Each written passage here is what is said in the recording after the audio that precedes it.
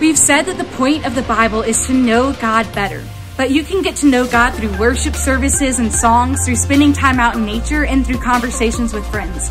So does reading the Bible really even matter? Think about your friends on social media. You can watch their TikToks and like their Instagram photos, but if you want to get to know them better, you spend time with them.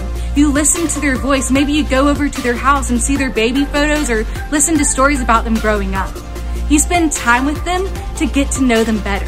And the same is true when it comes to God. God isn't only found in the Bible, but God is found uniquely in the Bible.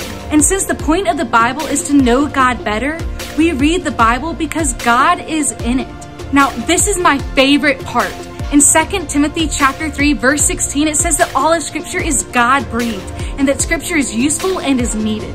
Now, this action of God breathing is also in another important place in the Bible. In Genesis chapter 2, it says that God breathed life into humans, and when God breathed life into humans, humans became alive. If God's breath brings life, then that means that God's words in the Bible bring life too. So the same God who spoke through the writers of Scripture can and is speaking life to you and through you. And that's why reading the Bible is so important. As we read what the Bible says, the breath of God in the text will move your God breathed spirit to instruct you, inspire you, and challenge you. Getting to know God is a process. Reading the Bible takes time and commitment and intentionality, just like getting to know anyone else. I read the Bible because God is in it, and I want that for you too.